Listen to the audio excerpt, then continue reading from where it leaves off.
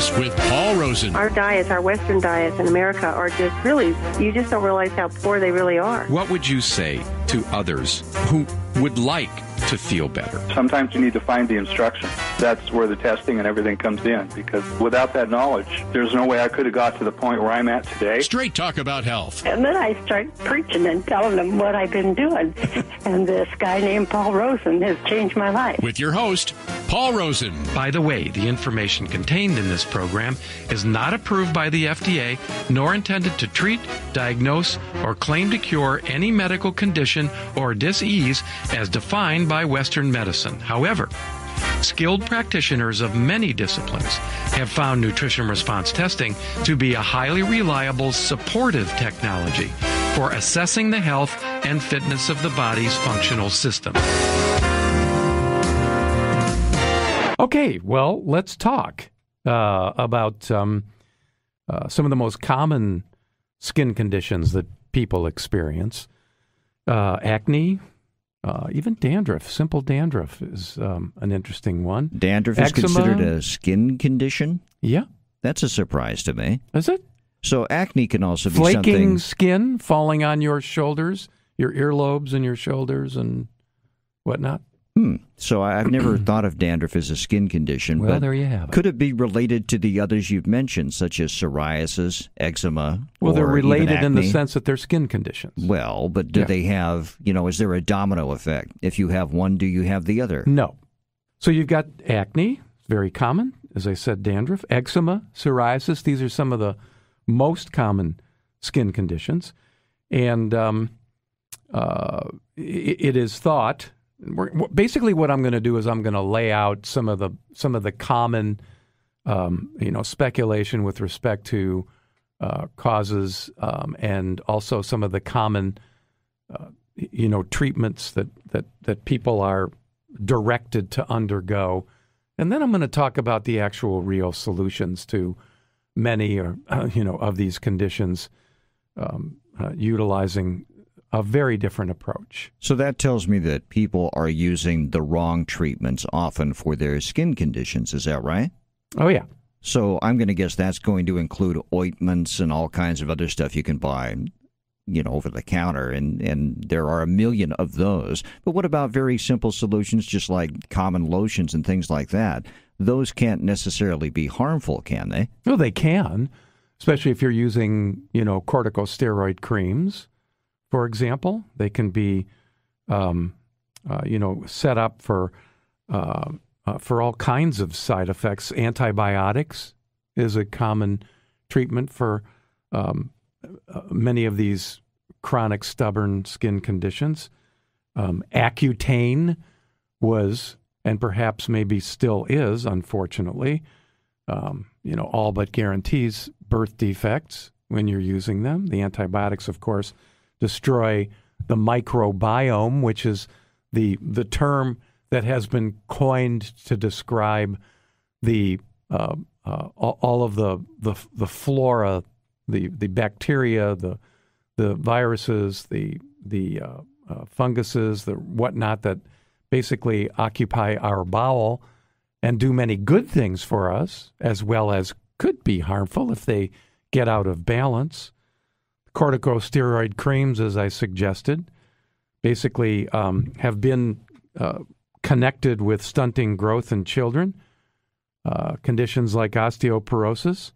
They also, of course, suppress your uh, own steroid production, which helps handle uh, things like infections and trauma, muscle weakness, diabetes, increase in triglyceride levels, body bulges like eyes, upper back, and trunk, um, raises blood pressure, causes weight gain. Gee, I sound like one of those one minute drug commercials, don't Yeah, I? Yeah, you do. And I had no idea that these side effects could be so serious. Absolutely. Absolutely. When you use suppressive methods of treatment, side effects are all but guaranteed. Not all of them. You won't experience all of the side effects, but you you uh, will experience one or more.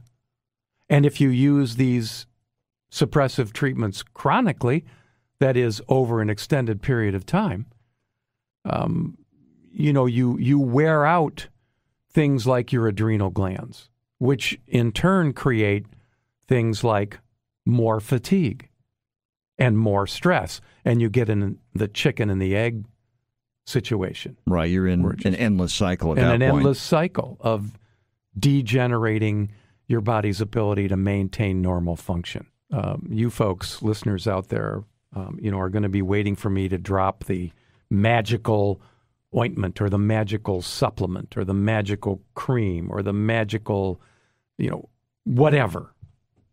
There is no such thing. There's no such thing.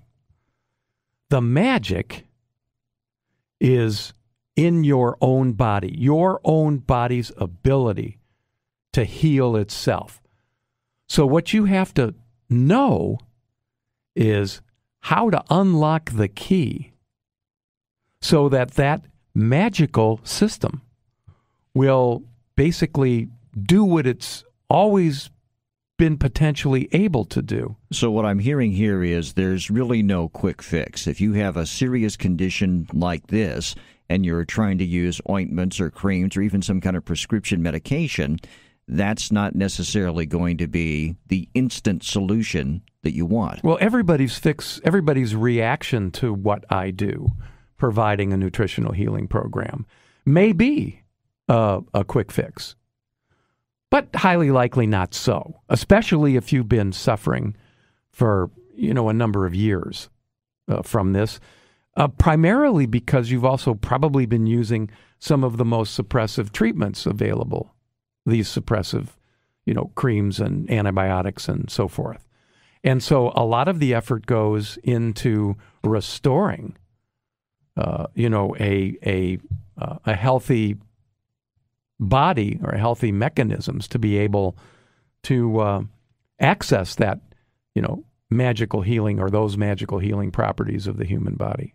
So, how do you do that? How can you make your body, in effect, heal itself? The first thing is is you have to undergo a an evaluation, and that evaluation um, has to be something different than the blood work, the skin work, the hair work, the urine work, the bowel work, all of the chemical tests that um, uh, is is most available and, and, and most known by people because that's what we do in Western medicine. We've we've decided that blood chemistry rules the roost, and it's going to get you where you want to go. And the problem is, is you've got you know uh, hundreds of thousands, perhaps even millions of people out there who are scratching their heads trying to figure out why they're still suffering because those chemical tests have simply not been able to pinpoint why they're suffering from the psoriasis or the eczema or the acne or the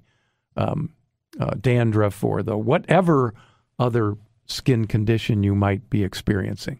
So, I would think if you're a chronic sufferer of rosacea, for example, adult acne or psoriasis or eczema, you might be willing to do just about anything, A, to relieve the pain. Certainly, eczema or psoriasis have a lot of that going on, but also your appearance. If you have rosacea, Absolutely. or any of these other conditions going on with your body, that is going to, I think, have an effect even on your mental health, how you react to other people on a day to day basis, how you conduct business because you're so concerned about your appearance. It's totally true. And the reason I do this show is to uh, uh, let people know out there who have tried and failed so many of the conventional and even um, uh, some of the alternative approaches that they allowed themselves to participate in that there really is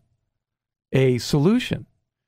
It's just that you have to step out of your comfort zone and um, uh, uh, participate in something that I call, uh, you know, applied kinesiology or muscle testing, and just be open to the possibility. Now, I have listened to one of the testimonials we may hear later in the program. I've already done myself a sneak preview, and one of your patients said He had eczema, I believe, over 85% of his body, something like that. It was a huge percentage. And not only did that weigh on his appearance and his overall health, but he was in pain very often. Oh, it can be very painful because imagine, uh, you know, having an irritation on your skin. You've got to wear clothes, generally speaking. So, um, yeah, it's it's. I mean, it can be all time consuming for an individual, uh, you know, and and and and what I want those people to know is that there really is a solution, right? But as you indicated, for those people, you know, most of the time, you're not going to see just an immediate turnaround by, you know, making a few changes, lifestyle changes. It's going to take some time to overcome the insult of the prior treatments and then to overcome the uh, uh, nutritional deficiencies and barriers to healing, which we identify via an evaluation providing a personalized nutritional healing program. And to take care of those things requires some persistence, it requires some commitment. Absolutely. Well, let's say too you're suffering from one of these conditions. Can you get temporary relief some from some kind of cream or lotion while you're seeking a more long-term solution? There are a number of things that can be done in the interim while we're working on the root cause because antibiotics don't treat the root cause. Creams don't treat the root cause. Any other type of, you know, uh, approach like that doesn't treat the root cause. The root cause lies in. I'll give you an example, and this is a um, some very interesting information that I hope you know lights a little fire under those who are suffering from these chronic skin conditions. You have to understand that the skin is the third kidney. No, I don't Let me think say I've that again. Heard, I've never heard that phrase before. The skin is the third kidney. And, and why is that? Why? Yes, why is that? Why is the skin the third kidney? Because the universe made it so. Okay, I I'll mean, accept I, that. Yeah. Um, and and the skin is the largest organ of the body. It's an excretory, respiratory organ. We breathe through our skin. We excrete toxins through our skin. And there is a connection via the kidneys to our skin, via the thyroid to our skin, via the liver to our skin, via the bowels to our skin. So when you're looking at an abnormal condition of chronic inflammation, what you're really seeing is not just a local irritation or inflammation of the organ skin. You're seeing something going on inside, something involving your kidneys, something involving your thyroid, something involving your liver, something involving your bowels. And in the case of uh, uh, uh, lupus, which often is reflected in a butterfly rash around your face, right? The spleen is involved. Now, what do these, all of these organs, for example, the kidney, liver, bowel, and spleen have in common? Right? They're, they're filtration organs. They filter various substances in the body. The spleen's involved in filtering the lymph system. The kidneys are involved in in actually filtering the whole body, but in particular, um, pulling things out, creating the urine that we have. The bowels, obviously, is where a lot of our digestive um, uh, system is in, uh, takes place, and absorption of the useful nutrient density that is squeezed out of the foods that we consume. and the liver filters out the blood and also produces bile and has to do with uh, uh, processing sugar and so forth. So all of these organs and the thyroid connects them is connected to all of it. The thyroid's the endocrine gland that's connected to all of it. So whenever we're whenever I am working with a person who has chronic skin conditions, we have to find out what is annoying one or more of these organs or gland. And putting on a cream or utilizing antibiotics or utilizing corticosteroids both internally or externally doesn't have a chance in you know what to be able to address any of these organs or glands. In fact, all they do is undermine them.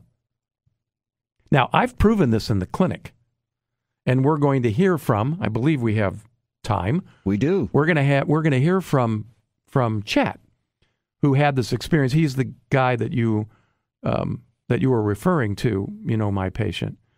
And this is just one example, but Chet was willing to be uh, interviewed, and not all of my patients are. They, you know, not everybody wants to uh, go public with their experience, but Chet was willing.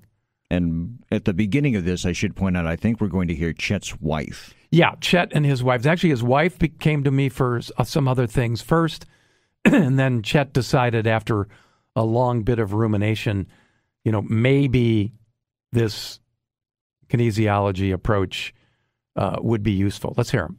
As I recall, there was something else that happened too, and that was that you were really concerned about your husband. Yes, my husband was suffering from psoriasis. And this was an ongoing problem for for quite a period of time. I think for 18 years. 18 years. So you you uh, after you seeing results, you uh, mentioned it to him, and and perhaps maybe there was a little reluctance in first, but ultimately he did he did uh, decide to take the leap and um, and for that we've got Chet Epperson right here. And and so uh, Chet, what, was your experience of the evaluation? Okay, Paul. Hi. Uh, it was a good evaluation, and of course, you kept saying "uh huh," and you're going to be surprised what you hear. Which, when it came out, I wasn't really all that surprised because I suspected a lot of things. And after 18 years of suffering from psoriasis, of course, it starts out small and it just gains and gains and gains uh, it got to a point uh, this January that uh, I had to do something. I was probably 85% covered. It was bleeding. I couldn't sleep nights. It really hurt. Uh, I was back on to UV treatment, and I've had all kinds of treatments prior. And I thought, well, can't lose. Well, what what kinds of treatments actually had you had for this? You say this is an 18 year condition. So, what what sorts of treatments were you, uh, you know, d- did you get for this problem? To start with, it was minor, so I had topical applications, different uh, uh, ointments that were given, and I put them on with small success. Uh, it was livable. It was small lesions here and there, and they came and went. That worked fairly well for probably eight years, and then it got worse and worse, and then uh, I went to see a dermatologist again, a different dermatologist, and they started me on a UVB treatment, which had quite a bit success. Uh, it brought it down probably 70% successful, but it never did clear. And uh, so we switched to a PUVA, which is a UVA treatment, and you have to take meds before the treatment, and they kind of upset your system for a while. Uh, it did a lot better took methotrexate along with it. It brought things down to about 80% success. And that was about it, but that's livable after you've had it really serious. Uh, it no longer really itches so bad that drives you crazy, so now you can live with it, so that's kind of acceptable. And I did methotrexate for a while, but it started to upset my system. I started getting tingling in my left arm, and I started getting cramping in my neck, and I went, now the this is not good. I'd better quit. So I did. And the dermatologist says, You're lucky because sometimes it doesn't return back to normal. So basically, what happened was, is you took these things, and it appeared that you were getting uh, uh, some success because the symptoms were disappearing, and yet, you know, little by little, here comes the creepy little side effects. And uh, uh and like like the doctor says, you were lucky that, that that you stopped in time, and things sort of started to return. But of course, once you stopped the drugs, what happened? Well, I stopped them, and all of a sudden things flared up seriously, and it got real, real painful. Uh, it's like you're bleeding all the time. It's like you have road rash. It just it it hurts, and at night you can't sleep well. So now it's time to get serious. So I started the uh, UVA treatments again. Uh, we also tried a series of Amevive before that, and it was it's a new drug on the market, and it was minimal successful. Um, it didn't really give me any side effects, but I didn't think it was worth trying a second one. It's like a fourteen thousand dollar uh, treatment, and it you know it's serious.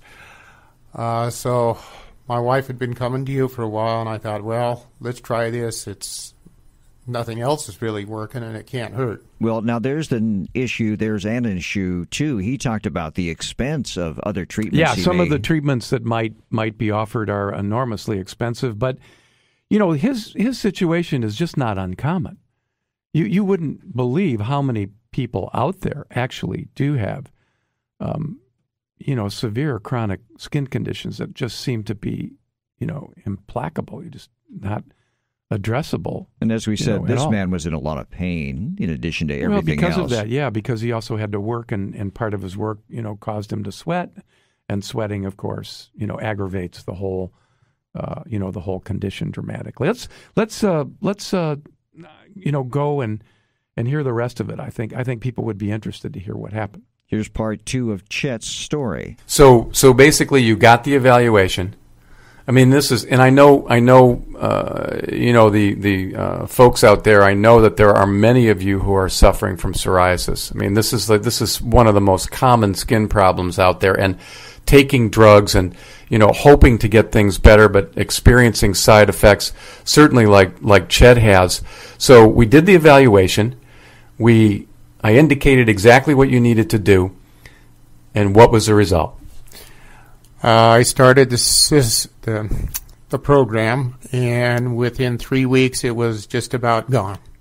I was still doing the UVA treatments, uh, which I was doing three times a week to start with. I brought them down to two times a week. I brought them to once a week, and then I quit them. Uh, and today, I'm just about totally free, and I have no problems. Uh, it's great. So, so basically, but the uh, just just to be just to be clear, the uh, the UV treatments actually uh, you you had stopped uh, sort of prematurely in the process, uh, noticing that the improvement was so dramatic uh, that you wanted to see if if you know there was what was doing what, right? Exactly, but it's kind of scary when you've had that much psoriasis to quit a UV treatment that you know helps, but all of a sudden it just it's like the treatments before never reacted like this. In three weeks they were gone, and I'm going. And every morning, even today, I wake up looking at myself, going, "Is it back? Is it back? It's not back. Am I lucky?" And and I can tell you folks that he's a little teary eyed talking to me about it because I I I mean when when when this kind of thing happens, you know, it, it appears it, it seems like it's a miracle, but the bottom line is it is just simply your body at work. You find out what the hidden health problem is, what the missing piece is, and your body does the work. So we have a we have a man sitting here who uh, is is essentially clear, save maybe a, a spot on an elbow or so, uh, where his body was anywhere between 85 and 95 percent covered. Um, and then he visited his dermatologist, and I. This is a very interesting thing, and I want you to talk about this. So you visited the dermatologist. This is after you're totally clear, uh, you know, of what you've been experiencing, and and what what what happened there. At first, she looked me over and she was really shocked that I was clear, and she had known how bad I was two months before that, and this really doesn't really happen. And as I, w- I was going out and talking to the nurses, one of them made a comment like, "We don't lose patients because they get healthy." we don't lose patients because they get healthy. Well, I mean, I- I'm, you know, I don't know. I'm like, I, I don't usually get speechless, but I'm, I'm sort of speechless. So, but let, let me ask this: if, if, I mean, for anybody out there who has been suffering for, you know, any length of time, whether it's with blood pressure or, or psoriasis or with pain or with any other types of things, what, what, what would you suggest?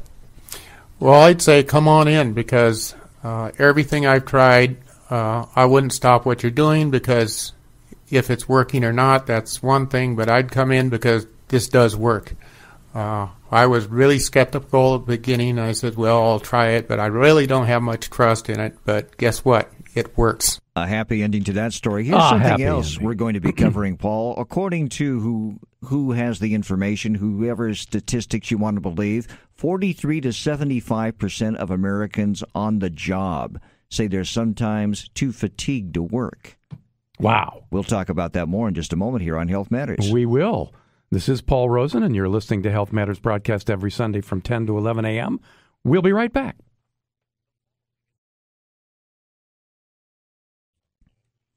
Okay, according to some research, Paul, it appears that our Twitter habits may be making us more fatigued, also more anxious, and more depressed. According to one psychoanalytic organization, our social media habits are making us more neurotic. Do you believe that's the case? Um, well, if you look at the sales of uh, antidepressants and anti-anxiety drugs, if if that is any reflection of um, you know people's uh, overwhelm, Maybe there's something guess I it. would guess I would say yes. Well, these statistics relate in particular to the workforce. And again, as I said a moment ago, 43 to 75 percent. That's a broad range of people. That many people may be having fatigue on the job, and it may be related to their social media use, among other factors. Oh, I, I I would imagine you know anybody who's trying to make a life for themselves in some respects, um, you know, and our civilization is experiencing fatigue on you know more than one occasion. You know, ask most people and they'll say, "Yeah, you know, I'm doing it, but I've got to I've I've got to force myself to get up in the morning and uh, you know do my thing, get my coffee." I need my I need my stimulant in the morning, my coffee, my tea, my you know whatever it is. Yeah, well, there's that. That's a factor too, the artificial stimulants. But Yeah. in addition to that, there's just the pace of our lives, the fact that we lead such fast-paced lives these days, especially on the job where competition is often intense. You have to work very hard to stay ahead. And I think social media in some industries, such as this one, is an essential ingredient now. So you have to stay on top of that. And if you're in front of a screen for X number of hours a day, I think that could contribute highly to stress and fatigue. Oh, absolutely. And and the the the often misunderstood or overlooked part of this is the toll that it takes on our organs and glands within our body, in particular, uh, the adrenal glands and the and the thyroid. Um, and and whenever someone is experiencing skin conditions where it where it combines with fatigue, you know, you can you can you can put money on the fact that those two glands are in trouble and and need uh, some support. But the issue here is what kind of support and how do you find it? Right? Protocol approaches miss so many individuals because, yeah, I mean, you know, if you've got a recipe, it's going to work for some folks. But if you want to, if you want to uh, uh, basically help the overwhelming majority of people, you've got to recognize the uniquenesses of each individual, and and and each body has its own keys, and you need to uh, uh, find those keys and unlock the magic within. And the magic within is your body's ability to both normalize, in other words, when something isn't regulating properly, to restore that regulation, and to restore the the um, uh, the health to the organs and glands. And believe me, just taking supplements won't do it. It just won't do it.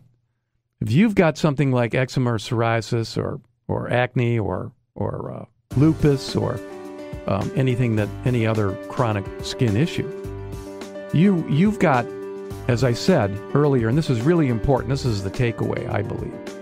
The recognition that your thyroid, your kidneys, your liver, your bowel, and in the case of lupus, your spleen, one or more of those is in deep trouble, and no chemistry examination will reveal what that trouble is.